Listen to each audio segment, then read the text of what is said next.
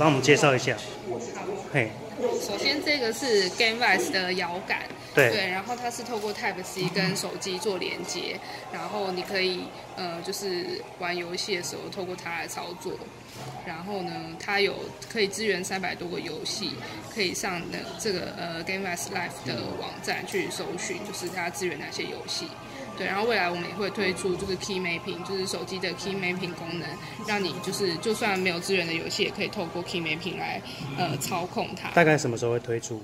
呃，预计上市以后，嗯，对，然后再来的话呢是这个 YG Display Dock，然后这个 YG Display Dock 呢，它就是一个无线传输的接收器，然后因为我们这手机里面有放 Eleven AD 的两个天线，然后透过这个天线呢，你就可以直接跟这个 Dock 对联，然后把画面投影到大荧幕上面去，对，然后我们主打的是没有呃二十毫秒的 latency，就是一般人是感觉不出来的，就是你可以让画面，就是手机的画面跟大荧幕上面同步。距离有限制吗？呃，距离的话最多可以到五公尺，就一般你在家里的客厅是绝对没有问题的。哦，到电视的距离这样子。对，它有一个一百二十度的角度是接收范围，但是其实通常你一般在玩的时候，你不可能会就是跑到很远的地方去，或者是背对着它去玩。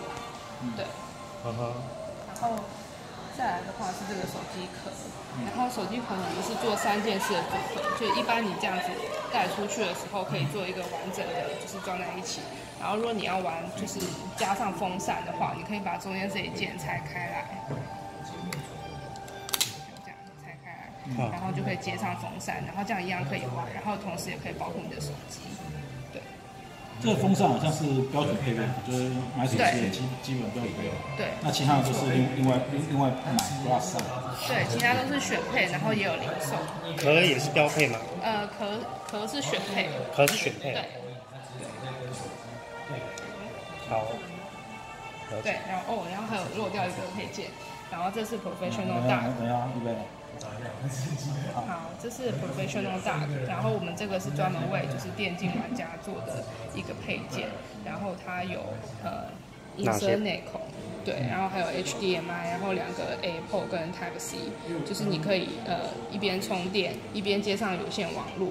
跟投影到大荧幕给玩家去玩，然后我们还要附一个六十公分的 cable，就是你在玩的时候，就是这个单狗不会悬在就是它可以平放在桌上，像那边 demo 一样这样。所以它也同时替手机充电。对，我们有个 Type C 的孔。OK。对，然后 A 孔的话，你可以做做一些延伸应用，像接键盘、滑鼠啊，或者是呃读随身碟都没有问题。嗯，那我想问一下，为什么要多做这个？它跟那边那个搭配有有一个还蛮重叠的。对，嗯，我们这是轻便型，然后那个大可是就是。比较豪华的版本，对，然后这个主打一开始的 idea 发想是给电竞选手，因为电竞选选手他们在比赛的时候，他们是不能用外接的摇杆或是键盘滑鼠去操作的，所以用这个的话可以达到他们的呃要求，然后也不会被就是比赛禁止，就可以用大荧幕，但是不需要去借键盘。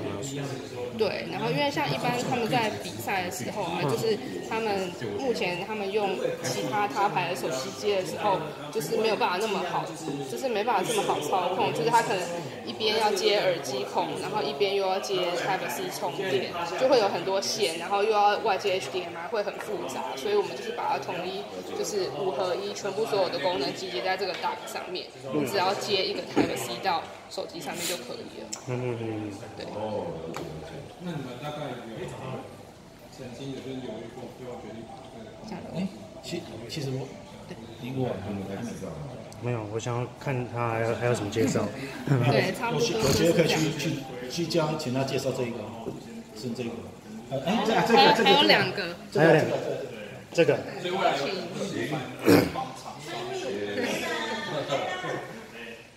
那个也是吗？那个不不是吧？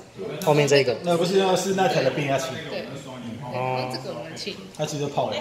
对，请介绍一下这个。来来来来来来来，我需要你介绍这个跟那个。好，没问题。预备，我都介绍这一台。预备，好，开始。OK，哎，大家好，就是我们现在介绍一下这台是我们的 Twin View Dock。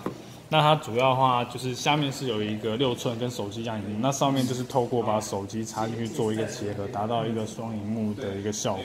嗯，那它上上下荧幕它都可以双开 app，然后我们有一个 scenario 就是上面可以做一个 Twitch 的直播，你在这样直播组的话，它就可以利用，诶、我们这边有一个 Game e n i 可以做一个 live 直播。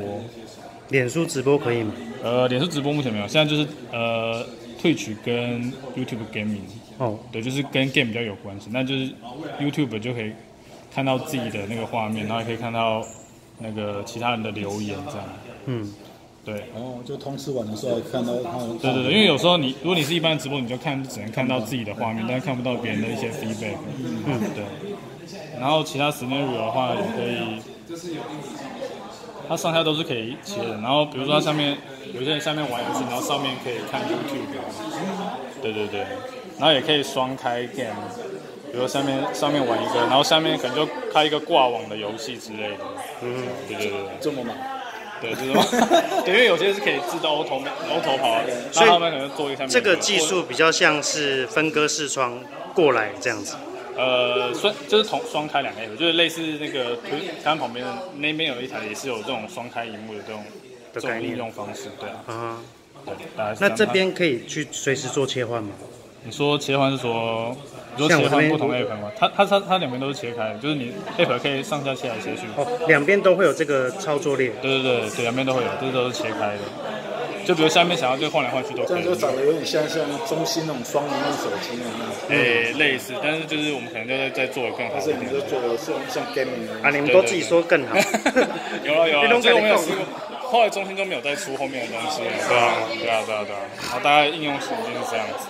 OK，所以大家除了游戏之外，比如说像音乐啦、爱奇艺啊那种都可以。哦，也都可以。然后它就是手机是双喇叭，那下面也是双喇叭，然后搭配六千 mini amp 的电哦，所以上下都有双喇叭所。以上下都双喇叭，所以它它音效也可以分开播，比如上面播影片，然后下面播游戏，哦，对，对都可以。那它还可以在外接第三个荧幕嘛？